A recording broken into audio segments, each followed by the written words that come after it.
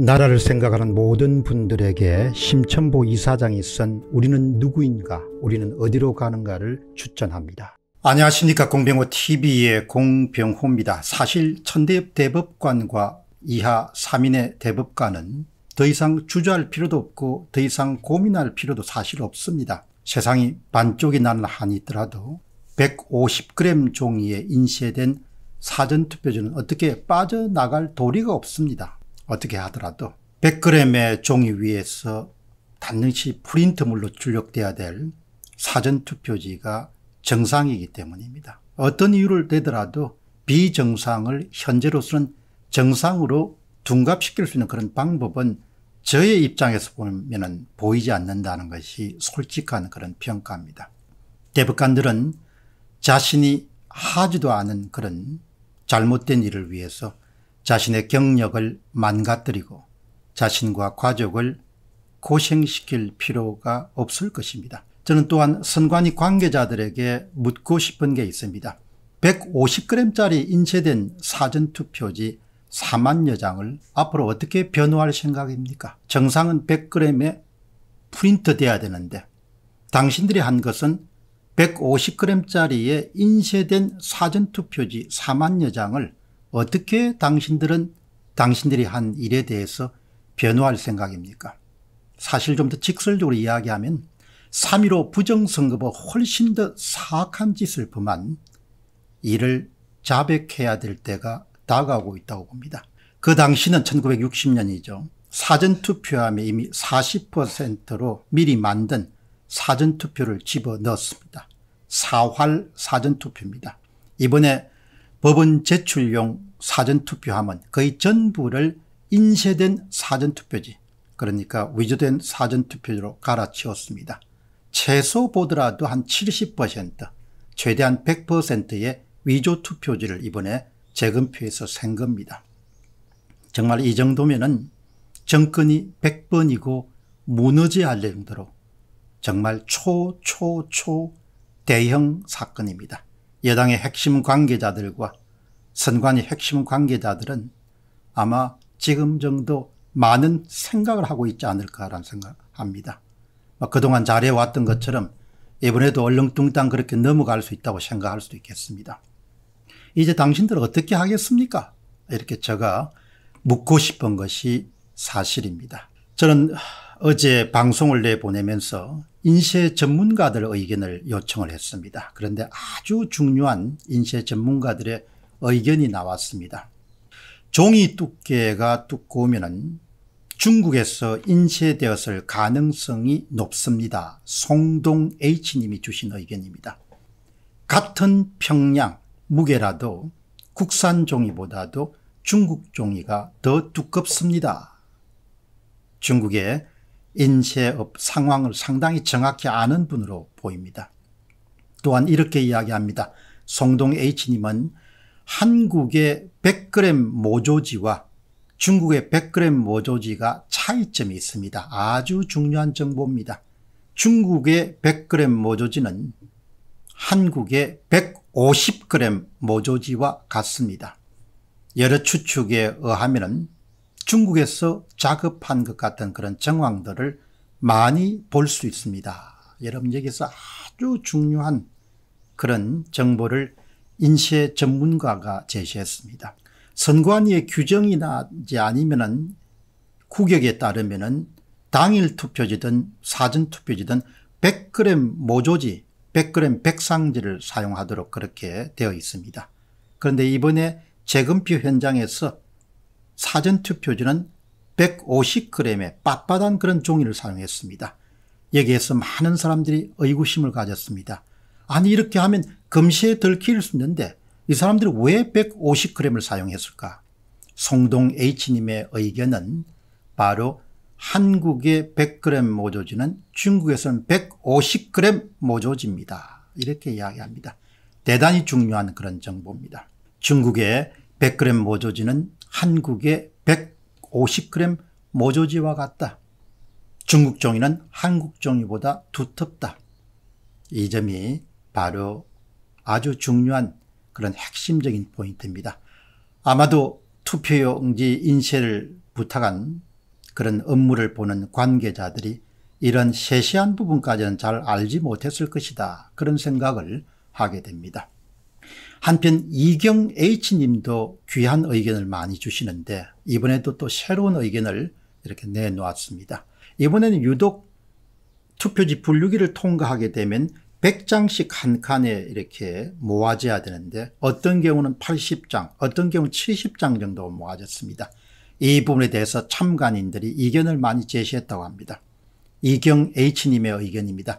개표기의 여러 에러를 우리가 알고 있었던 투표 분류기 한 칸에 100장 개수가 되면 센서가 감지를 해서 신호가 켜지고 100장 한 묶음씩을 드러내는 것으로 저희들은 알고 있습니다. 이번 재검표에서는 100장이 아니라 80장 안팎의 개수가 되었다는 그런 이야기가 많이 나옵니다. 그러니까 100장이 차여야 되는데 80장 정도가 한 칸이 차버리는 현상이 있었다고 합니다. 선관위 관계자는 반드시 100장 개수가 되는 것이 아니다 이렇게 궁색한 변명을 내놓았지만 그것은 거짓말일 수도 있습니다. 아마도 투표 분류기는 개수로 카운터에서 후보별로 100장 한 묶음씩 세는 것이 아니고 한 칸의 부피 즉 두께와 무게에 의해서 센서가 감지를 하면서 신호를 보내는 것으로 보입니다.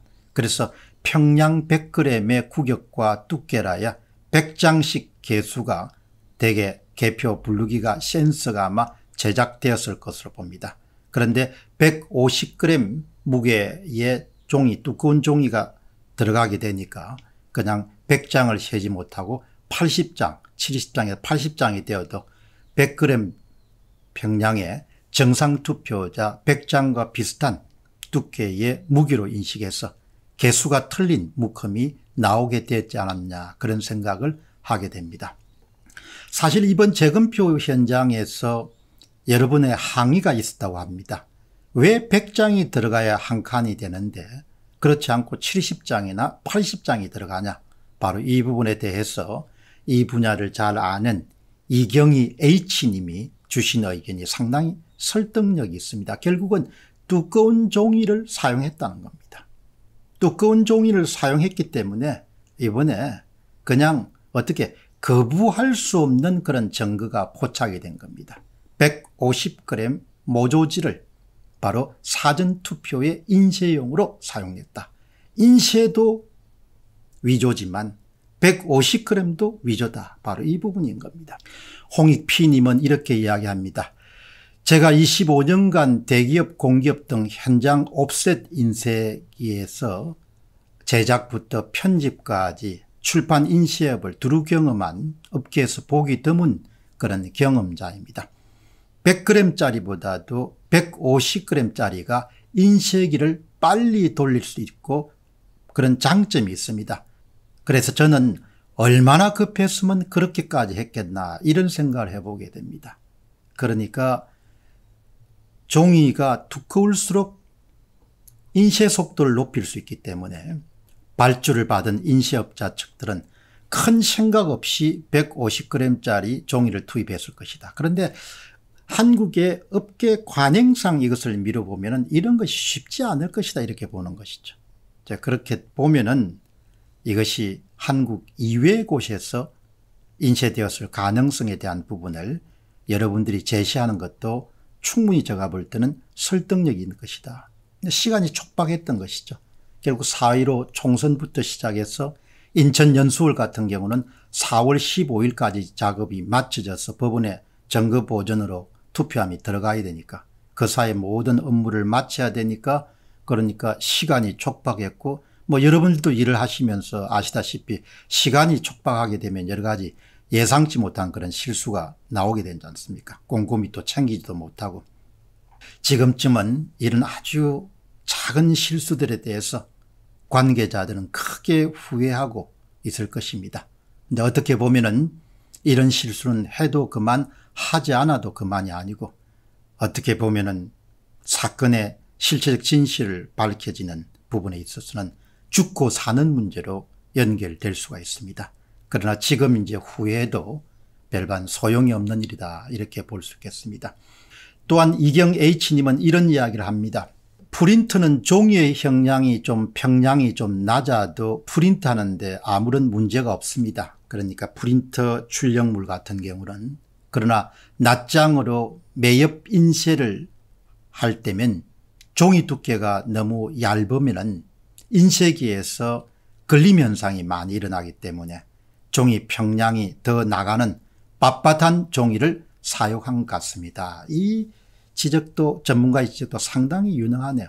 그러니까 인쇄를 마구 해야 되는데 두꺼운 종일수록 인쇄를 빨리 마칠 수 있다. 그리고 얇은 종이를 사용했을 때는 인쇄에서 걸림 현상이 발생할 수 있다. 뭐 이런 부분 때문에 결국 150g을 사용하게 됐는데 150g의 모조지를 사용하는 것은 그 자체가 부정선거의 결정적인 증거물입니다. 결국 발각 위험을 고려하기보다도 작업 편리성이나 편의성을 더 우선시해 가지고 그렇게 빳빳한 종이 두꺼운 종이를 사용했을 가능성이 높다 이렇게 볼 수 있겠습니다. 아무튼 아, 지금 여러분들이 말씀드렸던 뭐 이런 여러 가지 그런 정황을 미뤄보게 되면은 결국 우리 세상 사람들이 흔히 이야기하는 빼박 증거. 어떻게 뭐더 이상 어떻게 해볼 도리가 없는 바로 그 점검물 가운데 하나가 6월 28일 인천 연수구월 재건표 현장에서 확보된 150g의 모조지 인쇄된 사전투표지 약 4만 장 정도가 현재 봉인되어서 인천지방법원에 보관되어 있는 것으로 그렇게 알려져 있습니다. 한 장, 두 장이 아니고 150g의 예, 모조지를 쓴 겁니다. 100g을 써야 되는데 그리고 프린트를 해야 되는데 인쇄를 해버린 겁니다. 그 어떻게 하겠습니까? 여기서 뭐 어떻게 덮을 수 있겠습니까? 숨을 수 있겠습니까? 어떻게 여러분 생각하십니까? 여러분들의 생각을 한번 정리해서 의견으로 남겨주시기 바랍니다. 이 일을 주동적으로 추진했던 분들의 심적 상황이 어떨지 또 이번 사건을 신속하게 처리해야 될 그런 책무를 갖고 있는 대법관들은 지금 어떤 상황이 있을지 어떤 심적 상태에 있을지 이런 부분을 여러분들의 의견을 남겨주시게 되면 정말 더 유익한 그런 방송이 될 수 있지 않겠느냐 그런 생각을 하게 됩니다. 아무튼 오늘 또 중요한 정언은 중국 종이는 한국 종이보다 두껍다.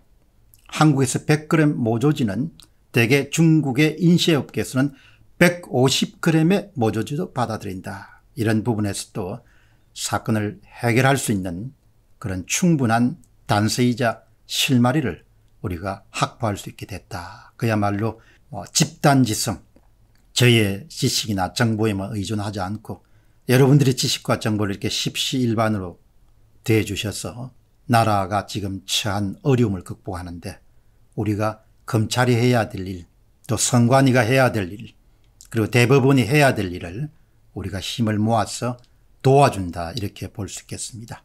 빼박 점검입니다. 150g의 인쇄된 사전투표지 4만 여 장 공병호 TV의 공병호였습니다. 감사합니다.